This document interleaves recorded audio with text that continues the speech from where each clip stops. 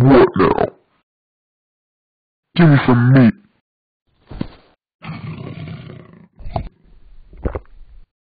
Now, Nick, let's play fetch.